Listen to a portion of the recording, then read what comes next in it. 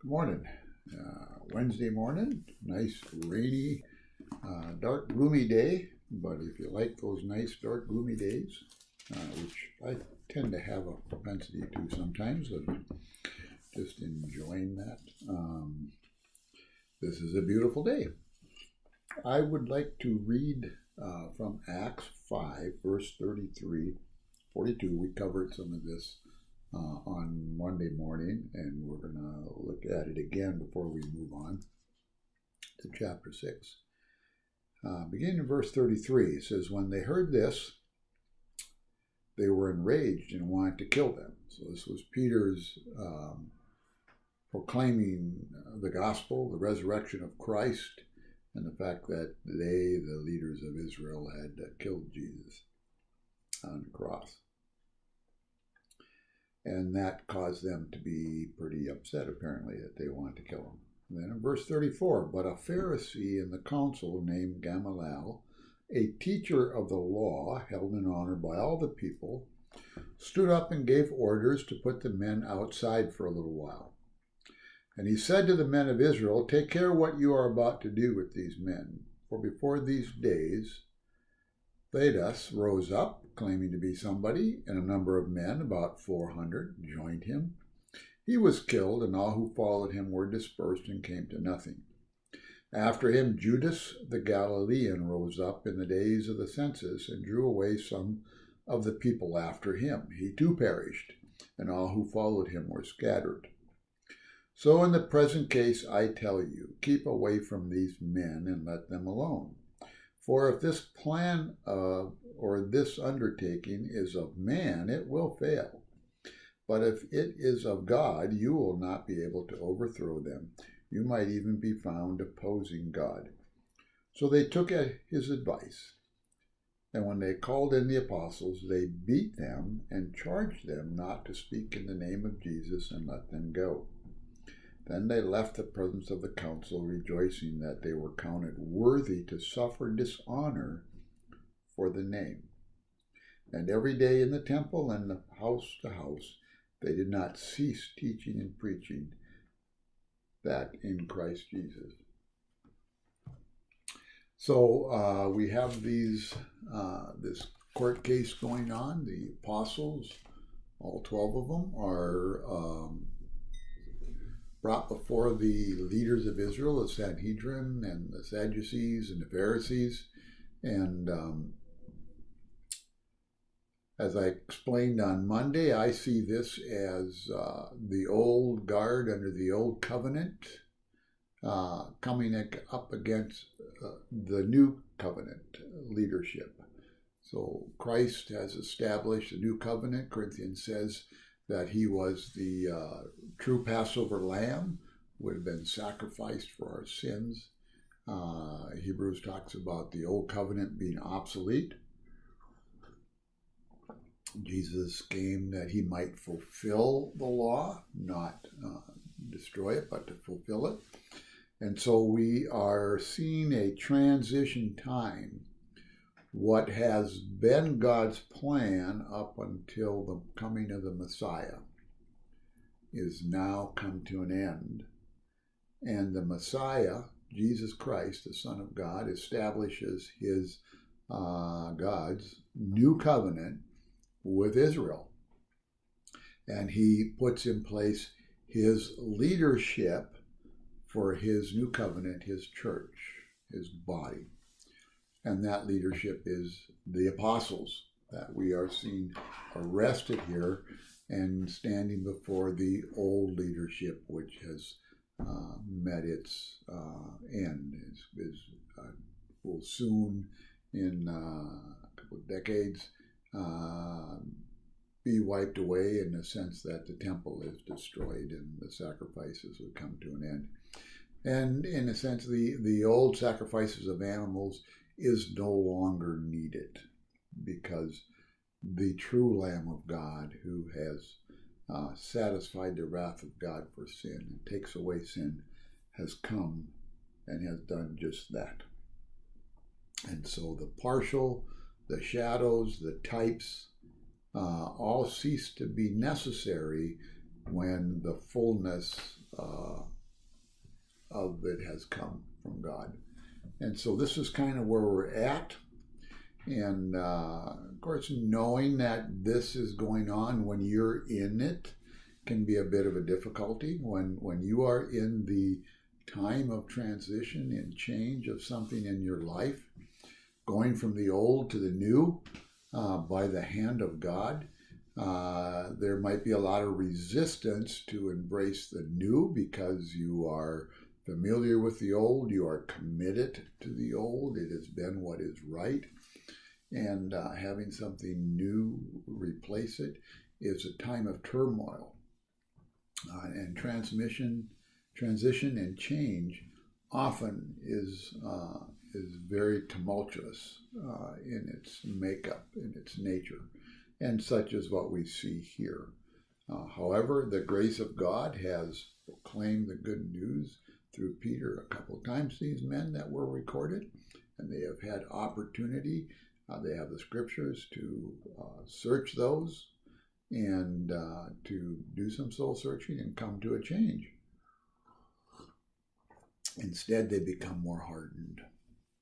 They didn't want to let go of what they had for what God uh, was going to bring in their lives. Now, you and I experience that in small ways all the time in our life. God wants is going to bring something new into our lives, and we may uh, resist and be in turmoil, uh, wanting the security of what we know versus the insecurity of what we don't know.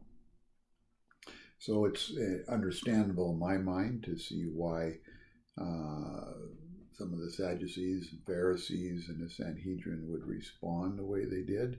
But we see in Gamaliel a, a, um,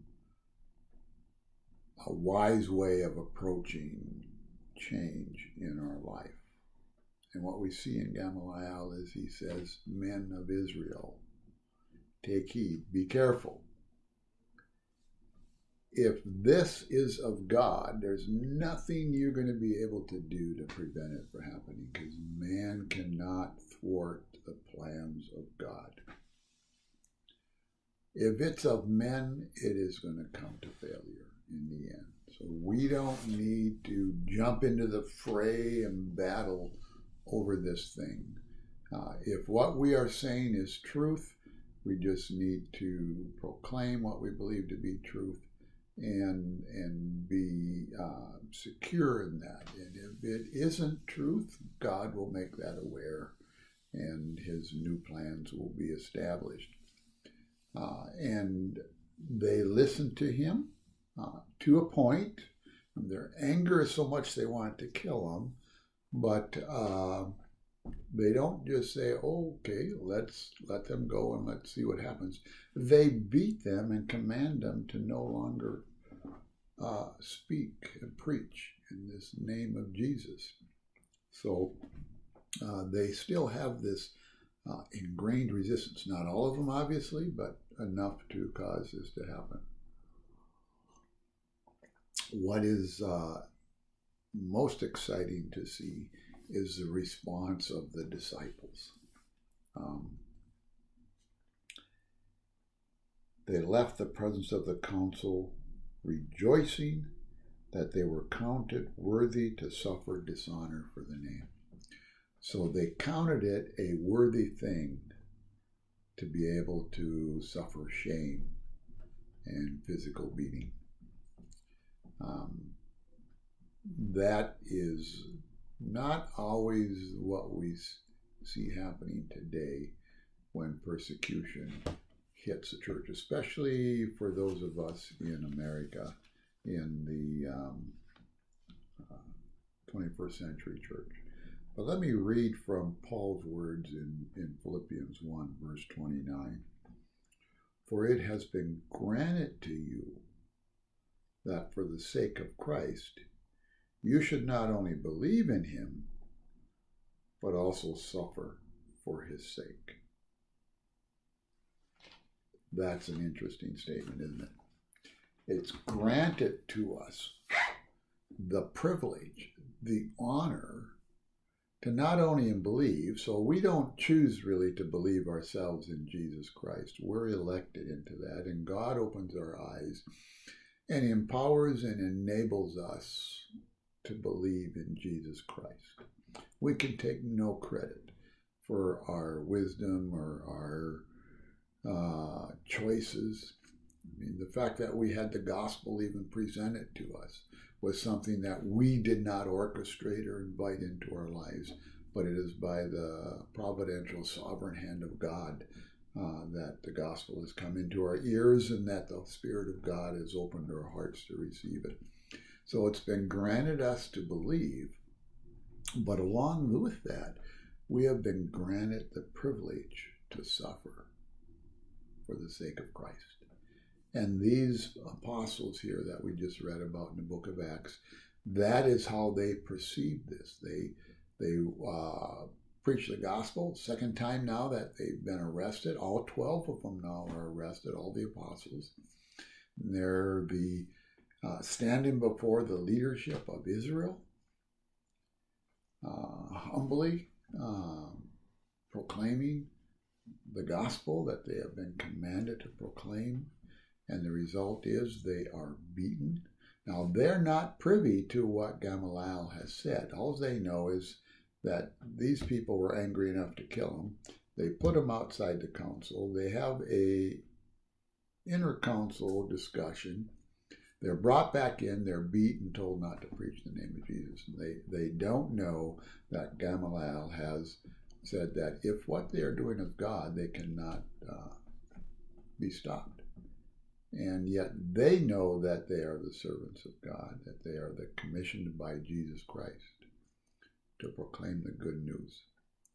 They have humility and they have uh, a rejoicing in being beat for having proclaimed the good news of Jesus Christ, for being believers in Jesus Christ. And they have that because they know who Jesus is. When we know who we are in Jesus Christ and what he has commissioned us to do, then we, like them, will count it all joy when we encounter various trials. And in fact, that's what James in chapter 1 of his epistle says to do. Count it all joy, brothers, when you encounter various trials. Peter goes on in, in 1 Peter chapter 4, uh, pray insofar as you share in Christ's suffering, or rejoice insofar as uh, you share in Christ's suffering. The, in, in the New Testament, through these early apostles and these men of God, uh, the church was exhorted to be excited and rejoicing in suffering for the name of Jesus Christ. Not just suffering, because they're not masochists, but in being able to share in that which their master also experienced.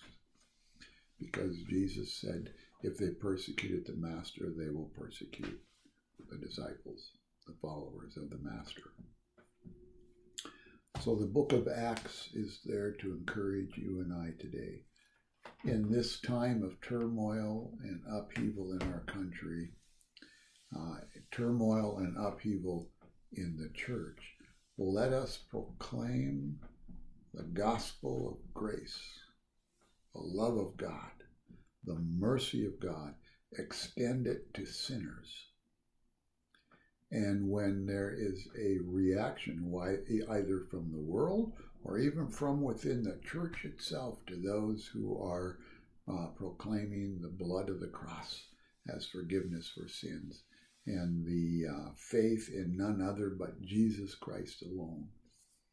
Um, when we encounter the reaction of the world and even the church against us, let us rejoice. Let us not say, well, we have a right to do this, or um, you have no right to do something to us like this, and begin to whine or complain or even demand our rights. Uh, but let us do like the early apostles. Let us rejoice in being able to suffer Now, Paul did claim his Roman citizenship at times uh, to his advantage. So, using our citizenship in the United States of America and the freedoms that come in that citizenship uh, for the sake of the gospel to our advantage is certainly uh, to be recommended to us. But our response to persecution should not be self protective, but it should be uh, done in a way only that is there to benefit the gospel. And for our own sake, we can rejoice in being able to suffer shame. And um, like the apostles, we will see the church grow as the Spirit of God convicts the hearts of the lost of the love of God for them.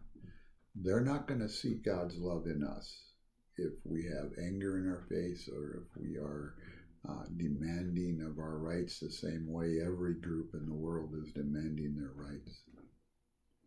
But when they see us submitted to our Lord and Savior and, and laying our lives down for Him and for the love He has for the world, that will uh, show them the nature and the character and the love and the grace and mercy of God.